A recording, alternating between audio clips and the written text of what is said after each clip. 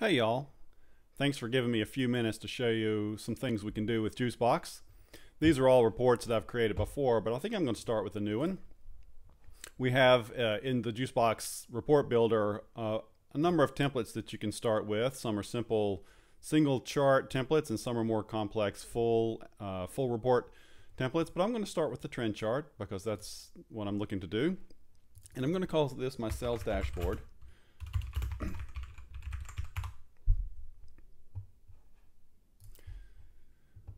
And Juicebox is going to go off and create the, the framework for this report.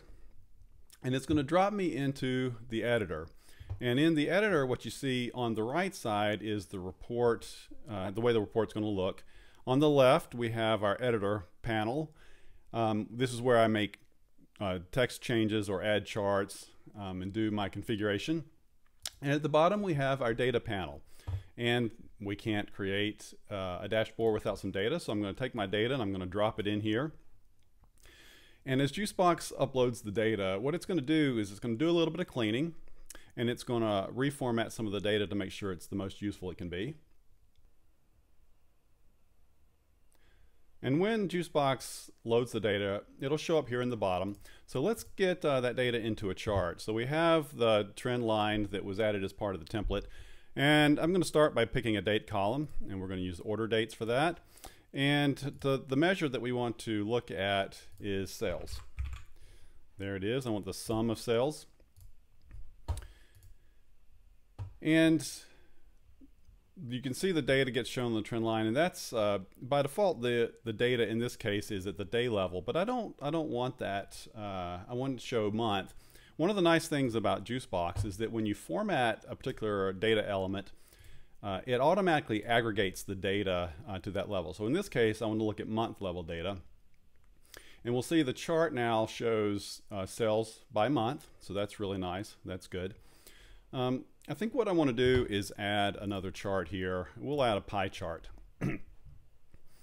and um, give it a title. And what I want to look at with the pie chart are the uh, product subcategories. And what I want to see there are volume of sales.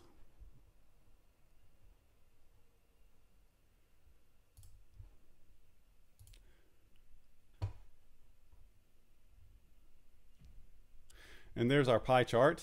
Um, looks really good. Um, so, so that's good. One of the nice things about Juicebox is that um, it's automatically filters uh, slices what we'll call down the page. So if I select a, a, specific date range up here on the trend line, the pie chart automatically gets filtered uh, based on, on those selections.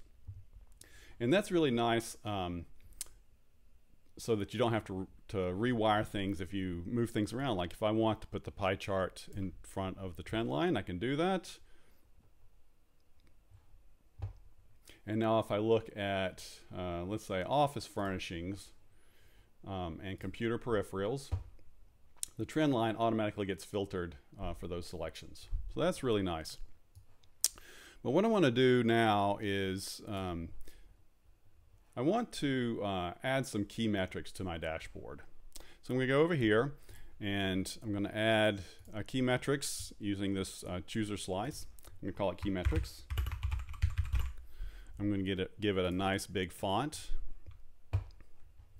And the key metrics I, I want to look at are sale and profit.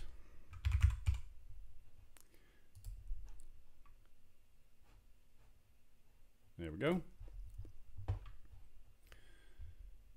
And now I see the totals for those, those key metrics there. Um, one of the really nice things that you can do with Juicebox is you can connect uh, a metrics slice with a chart type. Um, and I want to do that in this case because instead of sh showing just uh, the sales across time, I want to show uh, the metrics that I've charted above um, and you can see now that um, this one's highlighted, and if I click profit, the trend line automatically gets updated to show profit. So that's a nice way to add some interactivity. Um, so that looks pretty good. I think that does what I want to do. Um, I think uh, I think though it looks it looks kind of heavy and a little too serious. I think what I want to do is change the theme. So I'm going to go over here and I'm going to go and pick a different a color scheme. And uh, yeah, I think this one looks a little friendlier. It's the feeling I want to go for. So I'm going to make uh, make a little difference there. Uh, yeah, yeah, yeah. That's good. So I like that. We'll go with that. This is good. I think it's ready to go. I want I want to send this out to uh, to some folks. So I'm going to go and share that. I'm going to pick public so that anybody with the link uh, can see this. When it's finished publishing that, I can copy uh, copy this link and then send that out in an email or a Slack message. Um, you know what? But I think um, I don't like how this is all kind of spread out. So I think what I want to do is um, I want to put the pie chart next to the trend line. So I'm going to drag this trend line down here, drop it in this section with the pie chart, and I'm going to change the orientation to side by side. And now I have my pie chart next to my trend line. Let's see what that's going to look like on full width. Yep, that looks really good. And you can see up here, it tells me now that I have changes that I haven't shared. And the interesting thing, the useful thing about Juicebox is that um, the version that I published is still out there as the old version. So I can continue to work here and make these changes. Um, and now I'm ready to go and make uh, the changes I've implemented available. And I'm going to click Share Changes. And there we have it. And now all the folks who had access before have, have access to the new one. I hope you found that useful and interesting. And if so, jump on over to myjuicebox.io, sign up for a free trial, and enjoy.